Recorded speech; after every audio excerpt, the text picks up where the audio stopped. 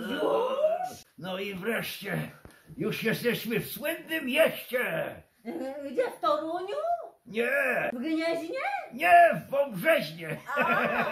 W Wąbrzeźnie. Dostałem liścik doktor Beluszecka e, od telewizji w Wąbrzeźnie. Zadają nam pytania. Uważaj, E, To ja słucham. e, uważaj, będę czytał.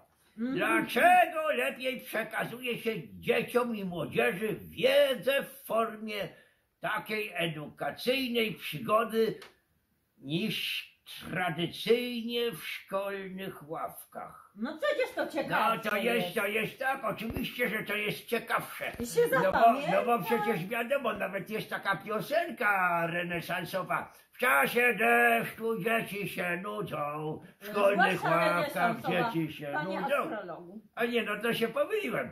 Każdym bądź razie dzieci często w ławkach się nudzą i myślą o niebieskich migdałkach. Trzeba dzieci często odrywać od zwykłych zajęć. My postanowiliśmy dzieci przenieść tutaj na spotkaniu razem z naszą książką o podróży dookoła Podróż słońca. dookoła tak, słońca. postanowiliśmy przenieść ich w krainę wyobraźni. Przepraszam, ale Przepraszam, to... e, to jest, drogie dzieci, astrolabium, a to nasz globus historyczny z takim dźwiękiem. To jest średniowieczny globus. Ma wiele, wiele lat i w nasze ręce wpadł. Kolejne pytanie będę czytał.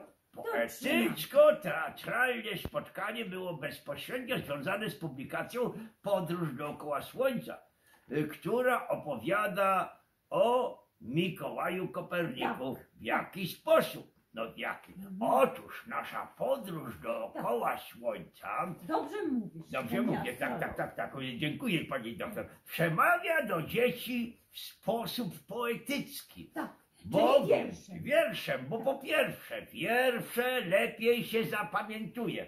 Cytuję. Tak. No. Rymowanki, Rymowanki łatwiej, łatwiej wchodzą do głowy. Zdecydowanie. Podróż dookoła Słońca w całości została napisana wierszem, czyli jest to cała biografia Mikołaja Od Kopernika. Urodzenia do opublikowania swojego wielkiego dzieła e, o obrotach Sewerynie. Dokładnie. A stało się to, zaczęło się w Toruniu, skończyło się we Fromborku. Oczywiście. No, yy, dobrze. Także kolejne pytanie, yy, rozumiem, zostało przez nas Czytaj pan wyjaśnione. astrolog. Dobrze, czytam dalej. Co chcą Państwo osiągnąć wśród, swo- wśród swoich słuchaczy, widzów i czytelników za pośrednictwem książki i spotkań takich jak w Wąbrzeskiej Bibliotece?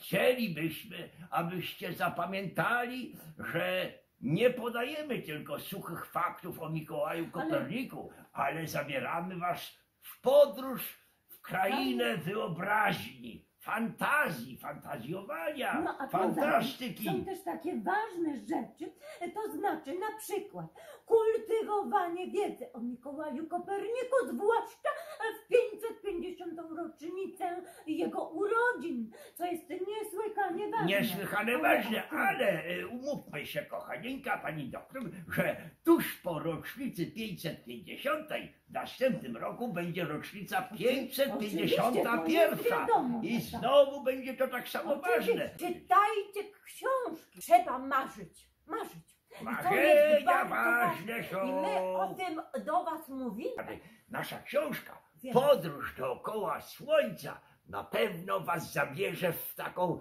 fascynującą przygodę e, związaną z wrażliwością, z wyobraźnią, z No fantazją. właśnie trzeba marzyć.